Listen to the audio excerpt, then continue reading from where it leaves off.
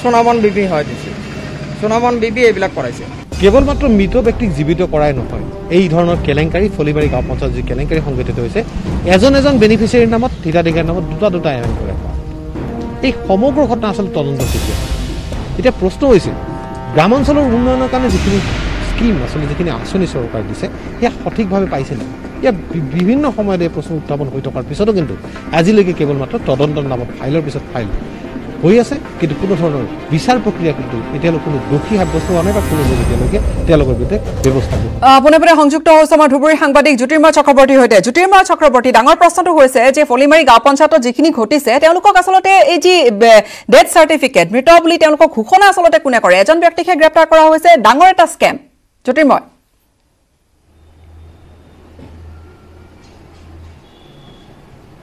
হয় গীতাশ্ৰী আমি আচলতে আজি যি বাতৰি সম্প্ৰচাৰ কৰিলোঁ সেই বাতৰিটো এটা আচৰিত লগা বাতৰি। এইকাৰণেই যে দেখা গৈছে যে যোনজন মানুহ ব্যক্তিৰ যোন মৃত্যু হোৱা নাই তেওঁৰ নামতো কিন্তু ইতিমধ্যে তেওঁৰ মহিলাই আচলতে তেওঁৰ পত্নীয়ে বিধৱা পেঞ্চন পাইছে। একদম আচৰিত লগা কথা। আৰু এই বাতৰিটো সম্প্ৰচাৰ কৰাৰ লগে লগে প্ৰথমতে মানুহে চালে পেলাই এটাই কথা প্ৰথমত মনত আহিব নজৰত আহিব যে যিজন ব্যক্তিৰ মৃত বুলি ঘোষণা হৈছে বা যিজন ব্যক্তিৰ পত্নীয়ে এই বিধৱা পেঞ্চন পাইছে তেওঁৰ আচলতে জন্ম মৃত্যু চাৰ্টিফিকেট আছে নে নাই। কিন্তু আচৰিত লগা কথা এয়াই তেওঁৰ কোনো মৃত্যু চাৰ্টিফিকেট নাই বা তেওঁৰ কোনো মৃত্যু চাৰ্টিফিকেট জমা লোৱা হোৱা নাই।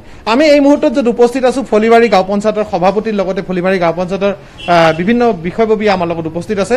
আমি সভানেত্ৰীৰ লগত কথা পাতিম। আপোনাৰ যে বিধৱা পেঞ্চন পাইছিল আপোনাৰ যিটো লৈ খেলি মেলি ইতিমধ্যে এটা তৈয়াৰ হৈছে জীৱিত মানুহৰ পত্নীয়ে বিধৱা পেঞ্চন পাইছে। তেওঁলোকৰ কিবা মৃত্যু চাৰ্টিফিকেট কিবা জমা দিয়া হৈছিল? বা এই বিষয়ত আপোনাৰ পঞ্চায়তত কোনোবা পাইছে নেকি? কিবা জানে নেকি বিষয়ত? হয় কিমানজন এনেকুৱা পাইছে?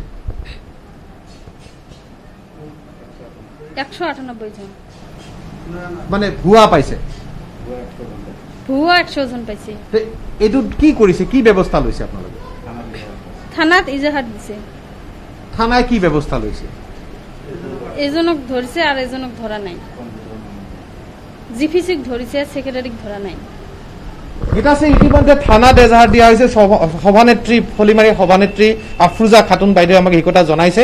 থানাত ইতিমধ্যে এজাহাৰ দিয়া হৈছে এজনক ধৰিছে এজনক ধৰা নাই। আৰু এই এটা গোচৰ দিয়া হৈছিল। গোচৰটোত এতিয়ালৈকে কি অৱস্থাত আছে? গোচৰ কেইবাটাও গোচৰ দিছিল ৰাইজে যে এনেকুৱা ভুৱা হিতাধিকাৰী তৈয়াৰ কৰা হৈছে ৰাতিৰ ভিতৰত আৰু তেওঁলোকক এই বিধৱা পেঞ্চন ইত্যাদি দিয়া হৈছে। চাৰিটামান গোচৰ দিয়া হৈছে তাৰ আগষ্টত আমাৰ ৰাইজে দিছে। তাই পুলিচে এটাও কেছতো তাক এৰেষ্ট কৰা নাই। আৰু কিবা কিবি তাৰ লগত লিং লং আছে। সেইকাৰণে তাক ধৰিব পৰা নাই। তা আমি অনুৰোধ কৰোঁ চৰকাৰকো অনুৰোধ কৰোঁ এইটো বিৰাট কেলেংকাৰী কৰিছে তাক যিটো শাস্তি দিব লাগে এইটো যেন দিয়ে। নিশ্চয়কৈ শাস্তি দিব লাগে। চৰকাৰৰ অনুদান গীতাশ্ৰী কিন্তু আচলতে ব্যক্তিগৰাকী জীৱিত হৈ আছে।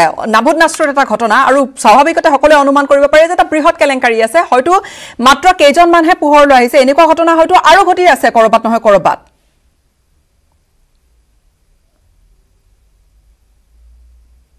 হয় অত্যন্ত লাজৰ কথা বা আচৰিত কথা বুলি ক'ব লাগিব। এই মুহূৰ্তত ধুবুৰী জিলাবাসীৰ কাৰণে এটা অত্যন্ত দুৰ্ভাগ্যজনক কথা বুলি ক'ব লাগিব। এনেকুৱা এটা ঘটনা হৈছে দাদা আপুনি সেইখন পঞ্চায়তৰ মানুহ হয়। মই সেইখন পঞ্চায়তৰ এজন সমাজকৰ্মী। গতিকে এনেকুৱা মানে পঞ্চায়তৰ বডিয়ে এনেকুৱা কাম দুৰ্নীতি কৰাৰ পিছত যেতিয়া কমপ্লেইন দি পেলাই কোনো হেৰি উপায় না উপায়বিহীন হয় ৰাইজক মাতি লৈ পেলাই আমাৰ ৰাইজৰ আগত দুখ প্ৰকাশ কৰে।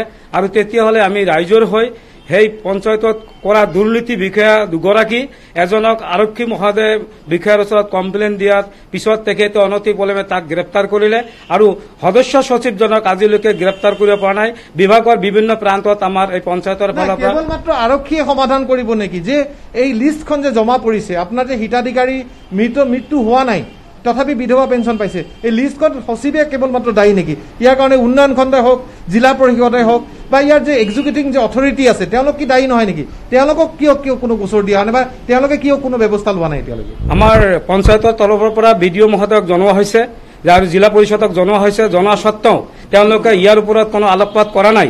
এতিয়ালৈকে আমি আপোনালোকৰ জৰিয়তে অনুৰোধ জনাওঁ যে এই বিষয়াজনৰ যিবিলাক আমাৰ পঞ্চায়তত দুৰ্নীতি কৰিছে পৰ্বত পৰ্বত সমান দুৰ্নীতি এই দুৰ্নীতিবিলাক নিষ্পত্তি নকৰালৈকে আমি ইমান দিন পলাই আছে। আমাৰ প্ৰশাসনৰ ফালৰ পৰা যে তাক তেখেতক এতিয়াও অনতি গ্ৰেপ্তাৰ কৰিব পৰা নাই আৰু তাক নিলম্বন কৰিব পৰা নাই। আমি খুব লাজৰ বিষয় পৰিছোঁ চৰকাৰক আমি কৰজোৰে নিবেদন কৰিছোঁ যাতে আমাৰ এই দুৰ্নীতি